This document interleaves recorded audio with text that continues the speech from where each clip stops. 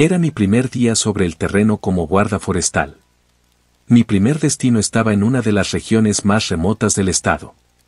El cielo de Montana estaba cargado de nubes de tormenta que arrojaban oscuridad sobre los interminables árboles. Las montañas se alineaban en el horizonte y sus picos desaparecían en el cielo. Nunca había visto montañas tan grandes, dentadas e imponentes. Estaba ansioso por causar una buena impresión, ansioso por demostrar que pertenecía a este lugar. Este trabajo siempre había sido mi sueño. Pero, mientras conducía por el estrecho camino de tierra hasta el puesto de guardabosques, un nudo de inquietud empezó a invadirme el estómago. El aislamiento de este lugar era palpable, incluso desde mi coche. El silencio de la naturaleza me oprimía, solo roto por el viento contra las ramas de los árboles o el grito lejano de algún animal. La civilización estaba lejos y, por primera vez desde que acepté este trabajo, me di cuenta de lo verdaderamente solo que iba a estar. Pero, a pesar de ello, me sentía confiado e ilusionado por poner en práctica mi nueva formación. El puesto de guardabosques apareció a la vista, con el humo de la chimenea elevándose en el aire. Estaba enclavada en el límite del bosque de Pine Creek. La estación era pequeña, baja y modesta, más una cabaña que un cuartel general. En la entrada estaba Earl Bennett, un hombre corpulento de unos 50 años, con el pelo canoso asomando bajo el sombrero y un rostro curtido por los duros inviernos. No sonrió cuando me vio acercarme y se saltó las cortesías. Llegas tarde. Gruñó, mirando el reloj. Tragué saliva, sintiendo como mi confianza se convertía de repente en nerviosismo. Lo siento, señor. Las carreteras. Las carreteras son siempre así, Estamos en el medio de Montana. Me cortó. Pronto aprenderás. Aquí fuera, mejor que estés preparado para cualquier cosa. Asentí, sintiéndome pequeño bajo su mirada severa, como un niño que recibe un buen sermón de sus padres. Bueno, pues vamos. Dijo mientras me hacía un gesto para que le siguiera a la comisaría. Al entrar, vi a otro guardabosque sentado tranquilamente en un rincón, mirando por la ventana la tormenta que se avecinaba. Era un hombre alto, ancho de hombros, con el pelo largo y negro recogido en una coleta y una expresión tranquila en el rostro. Earl no lo presentó inmediatamente. La comisaría era sencilla, unos cuantos escritorios, una caja fuerte para armas, una cocina, una sala de radio y dormitorios en la parte de atrás. Earl me dio un mapa de la región. Tu trabajo es patrullar esta zona. Vas a comprobar si hay indicios de caza furtiva, campamentos ilegales y cualquier otra cosa que no corresponda. La caza furtiva lleva tiempo siendo un problema por aquí. Mantén los ojos abiertos, conoce tu zona y nunca te dejes llevar por la comodidad. Asentí con la cabeza, despegué el mapa y exploré la zona. Mi territorio se adentraba en los densos bosques, mucho más allá de donde la mayoría de la gente se atrevería a aventurarse. ¿Y él? pregunté, señalando al hombre de la ventana. Ear le echó un vistazo. Ese es Daniel Alce Negro. Es un tipo callado, pero conoce este bosque mejor que nadie. Si te da consejos, será mejor que escuches. Su familia lleva generaciones en esta tierra. Le tendí la mano a Daniel. Tom Carter, encantado de conocerte, Daniel. El apretón de Daniel era firme pero suave, sus ojos no se apartaban de los míos mientras nos dábamos la mano. Daniel Alce Negro. Dijo en voz baja y suave. Bienvenido a Pine Creek. Earl no tardó en ponerse manos a la obra. Extendió un mapa de la zona sobre la mesa y lo golpeó con sus gruesos dedos. Este es ahora su territorio. La región de Pine Creek tiene miles de hectáreas de bosques, montañas, ríos y lagos. Serás responsable de estas zonas, vigilando cualquier cosa inusual. Asentí con la cabeza, intentando asimilar la magnitud del territorio. Algo que debería buscar en particular. Todo. Dijo Earl rotundamente. Esto no es un parque nacional bien cuidado. Es un terreno accidentado. El tiempo cambia rápido, los animales no siempre son amistosos y la ayuda más cercana está a horas de distancia. Si te metes en un lío, estás solo. Así que no te metas en líos. Su tono no dejaba lugar a discusiones y volvía a sentir. No exageraba. La absoluta lejanía del lugar empezaba a calar hondo. ¿Qué pasa con la casa furtiva? Pregunté. ¿Quién está detrás? Earl se echó hacia atrás en su silla, con gesto adusto. Locales, en su mayoría. Algunos cazan por deporte, otros por dinero. Lobos, alces, osos, de todo. Conocen el bosque mejor que la mayoría y no les gusta que los guardabosques nos metamos en sus asuntos. Fruncí el ceño. Parece que podría ser peligroso. Puede. Dijo Earl, y luego miró por la ventana, con los músculos de la mandíbula tensos. Pero hay cosas peores ahí fuera que los cazadores furtivos. Sus palabras flotaron en el aire como una niebla y, por un momento, un pesado silencio se apoderó de la habitación. Daniel miró a Earl, pero no dijo nada. Había una tensión tácita entre los dos, algo que yo aún desconocía. ¿Cómo qué? pregunté, rompiendo el silencio. Los ojos de Earl se volvieron hacia mí, duros y fríos. Mantén la cordura, y no salgas ahí fuera intentando ser un héroe y conseguir que te hagan daño a ti o a alguien más. La primera semana de patrullas transcurrió sin incidentes, pero el bosque tenía una forma de inquietarme incluso cuando no ocurría nada. Los árboles se alzaban altos y silenciosos, sus troncos oscuros y retorcidos, como antiguos gigantes congelados en el tiempo. Cada susurro de las hojas o el chasquido de una ramita me ponía los nervios de punta y miraba constantemente por encima del hombro, esperando ver algo acechando en las sombras. Me recordaba a mí mismo que me acostumbraría con el tiempo. Daniel me acompañó en algunas de mis primeras patrullas, guiándome por los terrenos más difíciles. Rara vez hablaba a menos que fuera necesario, pero cuando lo hacía, siempre era para indicarme algo que de otro modo habría pasado por alto, como huellas de animales o un agujero que debía evitar pisar. Su conocimiento del terreno era impresionante y, aunque era callado, aprecié su presencia. Había algo tranquilizador en él, como si estuviera en sintonía con la tierra de un modo que yo aún no podía comprender. Me sentía seguro con él. Una tarde, mientras caminábamos por una zona especialmente densa del bosque, le pregunté más cosas sobre él y cuál era su historia. Mi familia lleva aquí siglos. Dijo Daniel, bajando la voz. Mucho antes de que se creara el parque, antes de que llegaran los colonos. Mi pueblo siempre ha sido el guardián de esta tierra.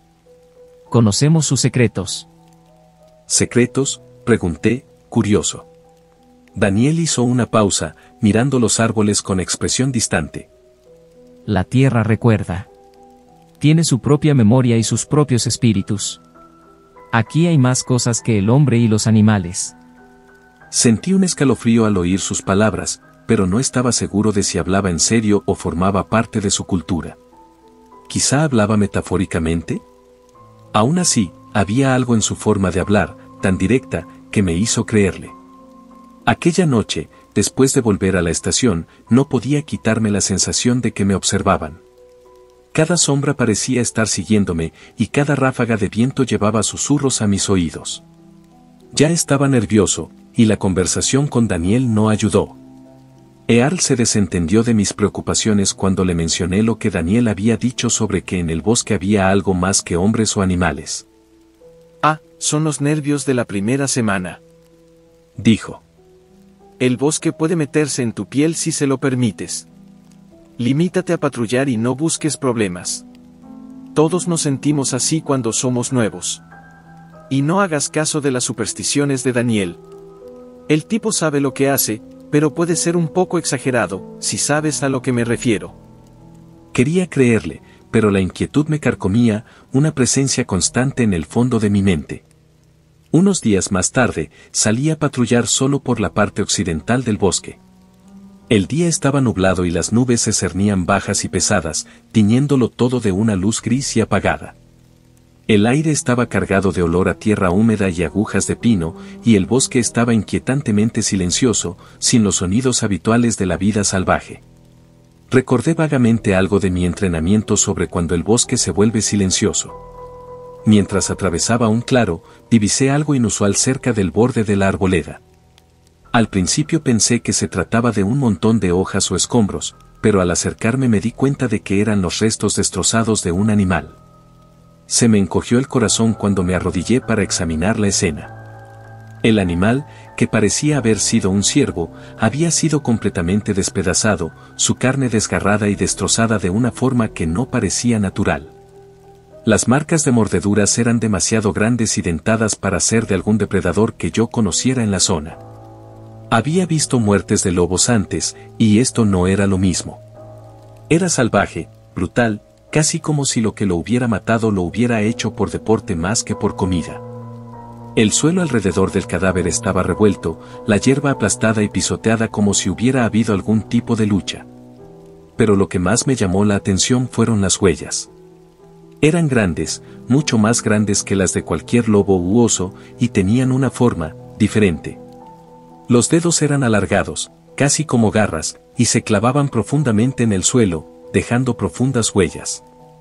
Se me revolvió el estómago y retrocedí unos pasos, llevándome instintivamente la mano a la radio del cinturón. Earl, dije, tratando de mantener mi voz firme. He encontrado algo. Parece un sitio de caza furtiva, Tal vez, pero, algo no está bien. ¿Cómo que no está bien? La voz de Earl crepitó por la radio. El animal ha sido destrozado. ¿Y las huellas? Nunca había visto nada igual. Son jodidamente enormes. Hubo una larga pausa al otro lado y, cuando por fin Earl volvió a hablar, su voz era tensa. ¿Dónde estás? Estoy a una milla al oeste del viejo camino maderero, cerca del claro. Vuelve a la estación. Ahora. La urgencia de su voz me produjo una descarga de adrenalina y no perdí el tiempo. Cuando me giré para regresar, vi movimiento por el rabillo del ojo. Algo se movía entre los árboles, yendo de tronco en tronco a una velocidad que me hizo palpitar el corazón. Me quedé inmóvil, con los ojos escrutando el denso bosque, pero fuera lo que fuese ya había desaparecido entre las sombras. Permanecí allí lo que me pareció una eternidad, con el pulso latiéndome en los oídos, pero no hubo más movimiento. Aún así, la sensación de ser observado persistía, un gran peso que me presionaba mientras regresaba a la estación lo más rápido que podía. Cuando volví a la comisaría, Earl me esperaba en la puerta, con expresión ilegible. Enséñame el sitio. Dijo, cogiendo su rifle del perchero junto a la puerta. Asentí y le guié de vuelta al bosque, con los nervios a una flor de piel por el encuentro. Cuando nos acercamos al claro, señalé el cadáver y las huellas, observando cómo Earl se arrodillaba para examinarlas. No dijo nada durante un buen rato, con el ceño fruncido. Finalmente, se puso en pie, con gesto adusto. Podría ser un oso. Dijo, pero me di cuenta de que ni siquiera él se lo creía. Los osos no dejan huellas así, dije en voz baja. Earl me lanzó una mirada aguda, pero antes de que pudiera responder. Daniel llegó al lugar en su camioneta, con el rostro tan tranquilo e ilegible como siempre. Daniel examinó el lugar un momento, antes de que Earl volviera a decir. Creo que es un oso pardo, por su aspecto. Eso no es un oso pardo dijo Daniel en voz baja, con los ojos fijos en las vías. Eso es otra cosa. La mandíbula de Earl se tensó y, por un momento, los dos intercambiaron una mirada. Había algo que no me estaban contando, algo que ambos sabían pero que dudaban en decir en voz alta. Bueno, ¿qué pasa entonces? pregunté, impaciente, sintiendo que se me formaba un nudo de terror en el estómago. Daniel me miró. Deberíamos volver. Está oscureciendo. Quise presionarle para que me diera más información, pero el tono de su voz no dejaba lugar a discusiones.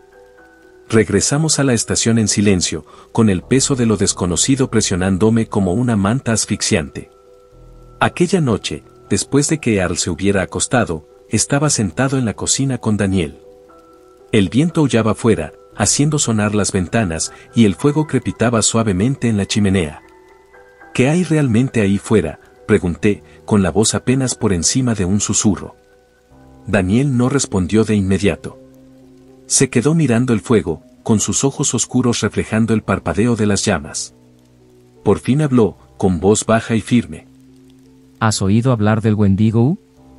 Fruncí el ceño, Wendigo, eso es como una cosa antigua de los nativos americanos, ¿verdad? Pregunté. Es una vieja leyenda, sí. Dijo Daniel, sin apartar los ojos del fuego. Un espíritu del bosque. Algunos dicen que una vez fue un hombre, un cazador que se perdió en el bosque y recurrió al canibalismo para sobrevivir. Pero al hacerlo, se convirtió en algo más, algo maldito. El Wendigo es una criatura hambrienta, siempre hambrienta, siempre cazando. Ansía la carne, y una vez que la prueba, se vuelve insaciable. Sentí un escalofrío al oír sus palabras, pero intenté mantener la voz firme. Entonces, ¿estás diciendo que eso es lo que hay ahí fuera? Daniel me miró por fin, con expresión seria. No lo sé. Pero hay historias. El Wendigo puede imitar voces, atraer a la gente al bosque. Es rápido, más rápido que cualquier cosa natural. Y una vez que se fija en ti, no se detendrá hasta que se alimente. Tragué saliva y se me erizaron los pelos de la nuca. ¿Y si te encuentra? La mirada de Daniel era inquebrantable. Corres. No te detengas. No miras atrás. Y rezas para que pierda interés. Sus palabras flotaron en el aire como un oscuro presagio y, mientras me acostaba en la cama aquella noche, no pude evitar la sensación de que algo nos observaba desde las sombras del bosque. A la mañana siguiente, Earl ordenó una patrulla completa de la zona. Estaba visiblemente tenso, aunque trató de mantener su habitual actitud ruda. Nos dividimos. Earl tomó el norte, yo el oeste y Daniel se dirigió al este. Mientras avanzaba por el bosque, el peso de la historia de Daniel me oprimía como una pesada losa, y sinceramente empecé a replantearme mi elección de carrera. Hoy el bosque parecía diferente. Los sonidos habituales de los pájaros y el susurro de las hojas estaban ausentes, sustituidos por una inquietante quietud que me mantenía en vilo. Cada paso que daba me parecía demasiado fuerte, el crujido de las ramas bajo mis pies resonaba entre los árboles. El viento se había levantado y traía consigo un leve olor a podrido que me revolvía el estómago. No paraba de escrutar los árboles en busca de cualquier señal de movimiento. Cada sombra era una amenaza potencial, cada ráfaga de viento un susurro de algo siniestro. A medida que me adentraba en el bosque, los árboles se juntaban más y sus ramas se entrelazaban como un dosel de brazos retorcidos. Entonces, lo oí. Un gruñido bajo, gutural, tan profundo. Era débil, tan débil que casi pensé que me lo había imaginado. El corazón se me subió a la garganta y me detuve en seco, llevándome la mano a la pistola que llevaba en la cadera. Escuché, esforzándome por oírlo de nuevo. Durante un largo momento, solo hubo silencio. Entonces, desde algún lugar detrás de mí, llegó el sonido de algo moviéndose entre la maleza. Sonaba rápido, imposiblemente rápido. Me giré, con el pulso acelerado, pero no había nada. Solo los árboles, silenciosos. Retrocedí un paso, con la mano apretando el revólver. El gruñido volvió, esta vez más fuerte y cercano. Me giré, con el corazón martilleándome en el pecho, y vi algo que se movía entre los árboles. Era una sombra, alargada y demacrada, que iba de tronco en tronco a una velocidad que me revolvió el estómago. No podía verlo con claridad, solo destellos de piel pálida, largas extremidades y ojos brillantes que ardían con una luz antinatural. La criatura se abalanzó con una gracia inhumana, su cuerpo casi serpenteaba entre los árboles. Y entonces, tan rápido como había aparecido, desapareció en las sombras. El corazón me latía con tanta fuerza que pensé que me daría un infarto. Me quedé helado, con la respiración entrecortada y entrecortada, la pistola desenfundada pero inútil en mis manos temblorosas. Por un momento, pensé en llamar a Earlo a Daniel, pero algo me decía que hacer ruido solo lo acercaría. Entonces, desde lo profundo del bosque, oí mi nombre. Tom. La voz era débil, casi un susurro, pero inconfundible. Era la voz de Earl, que me llamaba desde algún lugar más allá de los árboles. Por un momento me sentí aliviado, me habían encontrado. Mis instintos me gritaban que corriera hacia él, que saliera de allí, la voz sonaba tan real, tan cercana. Tom, por aquí. Di un paso adelante, con la mente acelerada, y luego me detuve. Earl no debería estar tan lejos en mi sección del bosque. Se suponía que estaba en la patrulla norte, a kilómetros de aquí. Pero la voz sonaba igual que Earl. Tom. Esta vez fue más fuerte, más insistente. Di otro paso y me temblaron las piernas. Pero había algo en la voz que no encajaba. Sonaba como Earl, pero tenía un matiz, una agudeza que me produjo un escalofrío. De repente, la voz de Daniel resonó en mi mente, puede imitar voces. Atrae a la gente al bosque. Me detuve en seco, con el corazón acelerado. No era Earl. No podía ser. Tom. La voz estaba más cerca, pero no me moví. No podía moverme. Respiraba entrecortadamente, preso del pánico, y el bosque a mi alrededor parecía cerrarse, los árboles se elevaban sobre mí. Entonces, detrás de mí, se oyó un crujido, suave al principio, pero cada vez más fuerte, más cercano. No me atreví a girarme. Cada instinto de mi cuerpo me decía que no mirara, que no reconociera lo que había detrás de mí. Pero el susurro se hizo más fuerte y pude sentir que algo me observaba, que se acercaba a mí, algo depredador. Se me erizó el vello de la nuca. Todo quedó en silencio. Tom. Susurró, esta vez directamente en mi oído. Corrí. No pensé, no miré atrás. Me limité a correr, con los pies golpeando el suelo del bosque y la respiración entrecortada. Los árboles me pasaban borrosos mientras corría por el bosque, con las ramas azotándome la cara y el viento rugiendo en mis oídos. Podía oírlo detrás de mí, sus pasos imposiblemente rápidos, acortando la distancia con una velocidad aterradora. Me ardían los pulmones, mis piernas gritaban en señal de protesta, pero no me detuve. No podía detenerme. De algún modo, llegué a la linde del bosque y tropecé en el claro. Me desplomé en el suelo, jadeando, con el cuerpo temblando de agotamiento y miedo. Cuando por fin miré hacia atrás, la cosa había desaparecido pero la sensación de ser observado seguía ahí. Me sentí como si fuera una presa y solo hubiera estado jugando con su comida. Cuando volví a la comisaría, Earl y Daniel me estaban esperando. El rostro de Earl estaba pálido, su habitual actitud ruda había sido sustituida por una tensión silenciosa que me inquietó. Parecía preocupado. ¿Qué ha pasado? Preguntó Earl, con la voz tensa. Les conté todo, el gruñido, la criatura, la voz. A medida que hablaba, la expresión de Daniel se ensombrecía, sus ojos se entrecerraban pensativos. Earl, sin embargo, permaneció en silencio, con la mandíbula apretada. Cuando terminé, la sala se llenó de un silencio opresivo.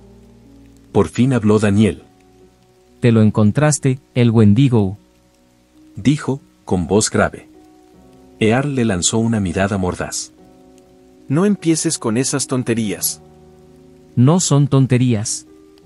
Dijo Daniel, con tono firme. Tuviste las huellas. Tú también oíste la voz una vez, Earl. Sabes lo que hay ahí fuera. Siempre lo has sabido.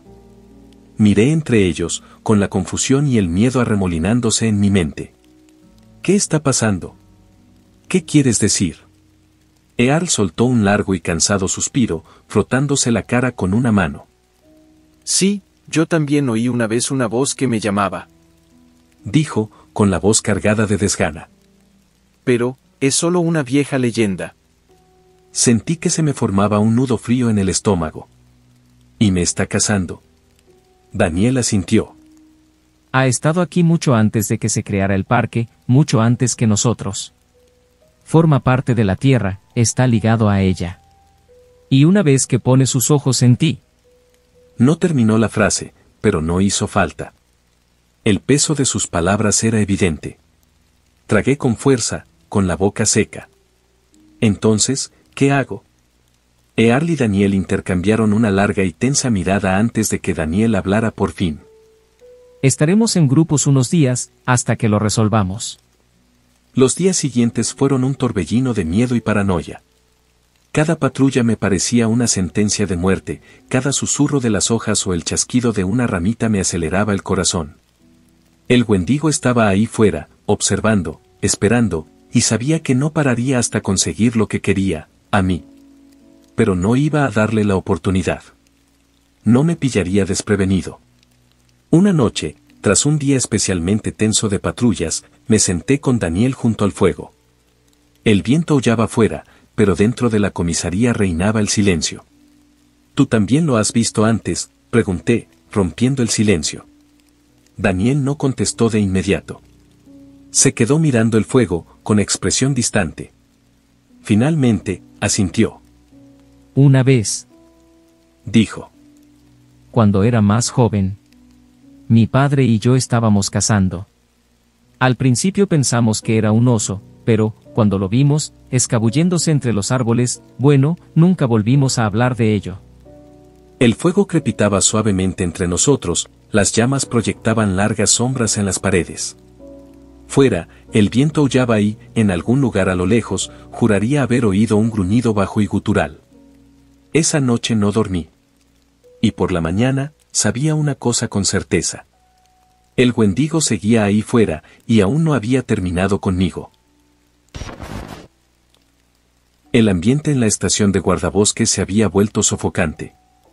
Mi encuentro con lo que acechaba en el bosque, el Wendigo, o lo que fuera, se cernía sobre nosotros como una nube oscura. Ahora patrullábamos juntos, nunca nos aventurábamos solos en el bosque. Daniel insistía en ello, pero estaba claro que la tensión entre él y Earl aumentaba cada día que pasaba. Earl era un tipo serio, y toda la charla sobre el Wendigo le estaba afectando. Lo disimulaba con palabras duras y miradas severas, pero yo podía ver a través de él. Daniel, en cambio, era callado, reflexivo e inquietantemente tranquilo. Era el tipo de calma que me hacía preguntarme si ya había hecho las paces con la idea de que las cosas no iban a acabar bien. Pero aún teníamos trabajo que hacer y no podíamos quedarnos sentados en la estación. Fuera, sin embargo, los sonidos habituales de la naturaleza habían desaparecido, sustituidos por un silencio opresivo. Ni siquiera el viento parecía moverse ya. A menudo me encontraba mirando a los dos hombres, sintiéndome como si estuviera en medio de dos padres que se peleaban. Una tarde, después de reventar una presa de castores, íbamos de vuelta a la estación, cuando nos topamos con otro ciervo mutilado. Es otro. Dijo Daniel. Earl se arrodilló junto a los restos, con el rostro torcido por la frustración. Aquí estamos persiguiendo sombras. Murmuró Earl, poniéndose de pie y limpiándose las manos en los pantalones. Esto no es un Wendigo. Probablemente solo un maldito oso con rencor. Daniel, de pie a unos metros, observaba la arboleda, con los ojos escrutando la distancia como si esperara que surgiera algo. Cuando los gruñidos de Earl se hicieron más fuertes, Daniel habló por fin. Sabes que no es un oso, Earl. Has visto las huellas. Earl le lanzó una mirada penetrante. Llevo 30 años haciendo esto, Daniel. Reconozco un oso cuando lo veo. No necesito que le llenes la cabeza al chico con tus leyendas de mierda. La expresión de Daniel seguía siendo tranquila, pero había un tono duro en su voz cuando respondió. No se trata de leyendas. Se trata de supervivencia. El Wendigo es real, y nos está cazando. Earl se acercó a Daniel, con la cara contorsionada por la ira.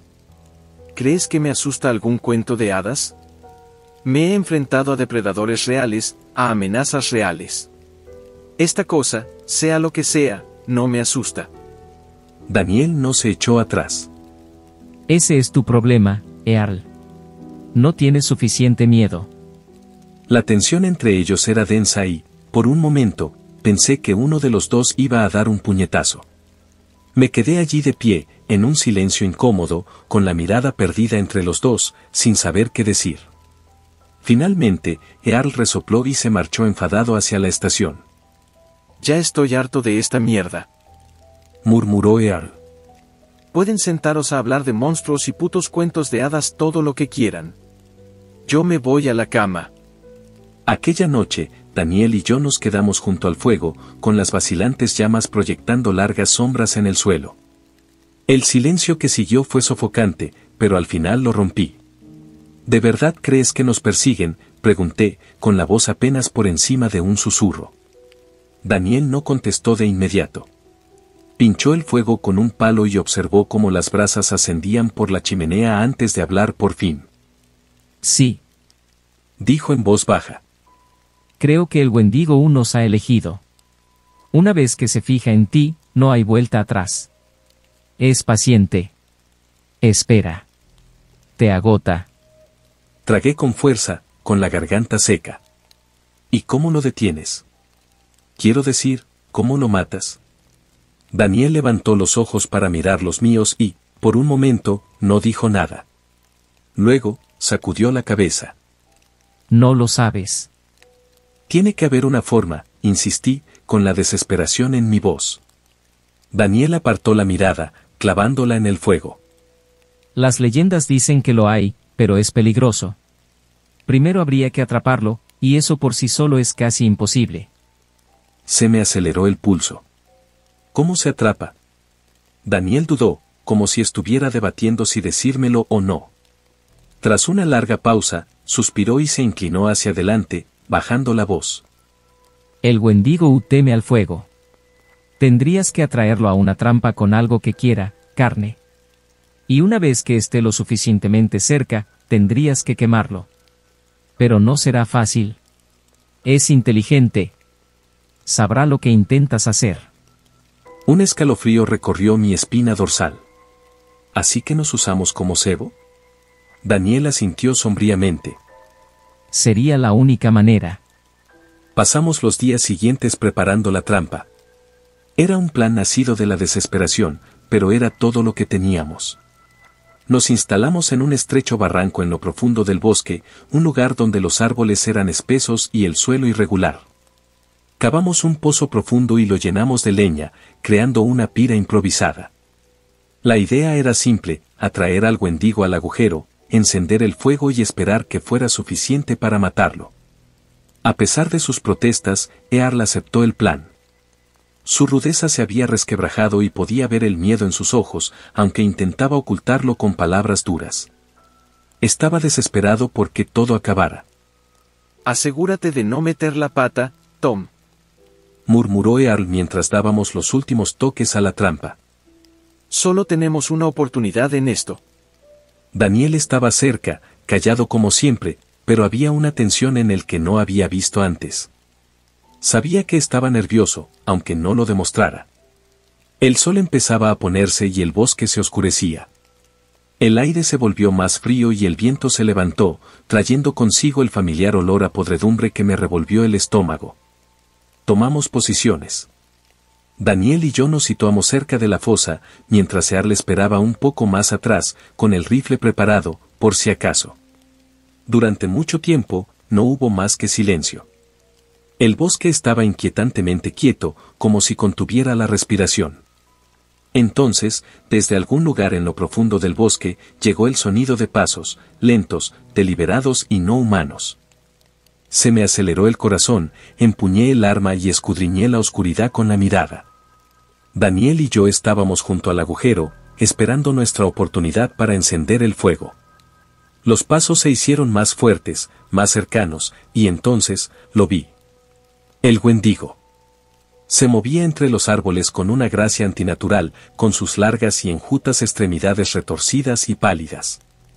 Sus ojos brillaban con una luz espeluznante y su boca colgaba abierta, mostrando unos dientes afilados y dentados. Su visión me heló la sangre. Era enorme, mucho más alto de lo que había imaginado, con una estructura esquelética que parecía apenas sostenida por su carne putrefacta. Su hedor llenaba el aire, un olor dulzón a putrefacción y muerte. Se acercó a nosotros y esperamos con impaciencia mientras se acercaba cada vez más al agujero. Solo un poco más, pensé. Y, por un momento, pensé que nuestro plan podría funcionar. Pero, justo cuando el Wendigo estaba casi encima del agujero, Earl levantó su rifle. Earl, no. Daniel gritó. Pero antes de que pudiera disparar, el Wendigo se movió, rápido, imposiblemente rápido. Se lanzó hacia Earl, extendiendo sus largos brazos a una velocidad aterradora. Earl gritó, un sonido gutural, de pánico, pero era demasiado tarde. El Wendigo se abalanzó sobre él, tirándolo al suelo. Sus garras le desgarraron la carne con una precisión espantosa. La sangre salpicó el suelo del bosque, y los gritos de Earl se interrumpieron cuando las mandíbulas de la criatura se cerraron en torno a su garganta, arrancándosela de un rápido movimiento. Me quedé paralizado, con el cuerpo inmovilizado mientras observaba horrorizado. El cuerpo de Earl se convulsionó un instante antes de quedarse inmóvil, con la sangre acumulándose bajo él. El Wendigo estaba de pie junto a él, con la boca manchada de sangre y los ojos brillantes clavados en mí. Corre. Gritó Daniel, agarrándome del brazo y alejándome de la escena. Salimos corriendo entre los árboles lo más rápido que pudimos. El Wendigo emitió un chillido escalofriante y pude oír cómo se abría paso entre la maleza detrás de nosotros, sus pisadas rápidas e implacables. Corrimos, el bosque un borrón a nuestro alrededor. Me ardían los pulmones, mis piernas gritaban en señal de protesta, pero no me atrevía a detenerme. El sonido de la persecución del Wendigo estaba justo detrás de nosotros, sus chillidos resonaban entre los árboles.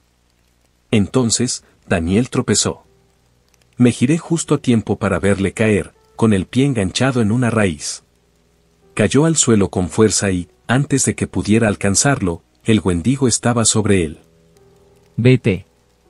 Daniel gritó, su voz ronca. Ve a la estación.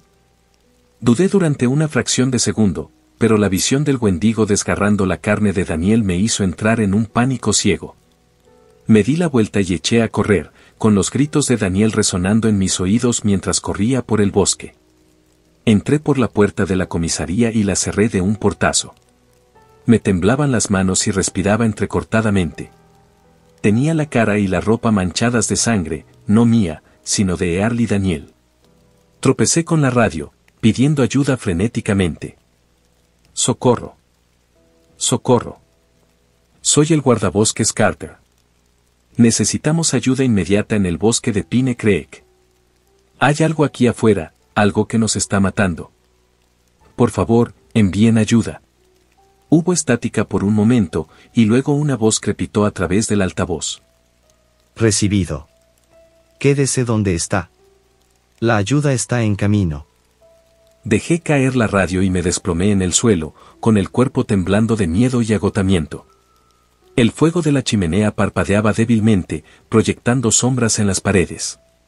La estación me parecía demasiado pequeña, demasiado vulnerable.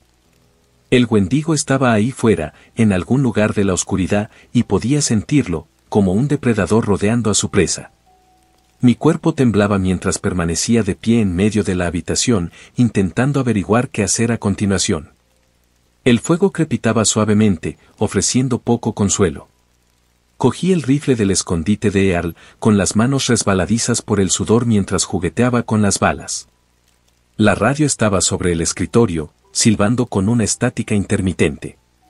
No tenía ni idea de cuánto tardaría en llegar la ayuda, ni de si creerían mi frenética llamada.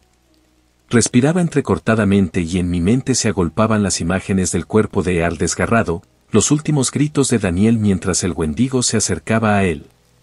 Se habían ido. Estaba solo. Y entonces lo oí. Al principio, era débil, un suave arañazo, como de clavos arrastrándose por la madera. Procedía de la puerta. El corazón me latía con fuerza en el pecho y me quedé inmóvil, escuchando el sonido cada vez más fuerte.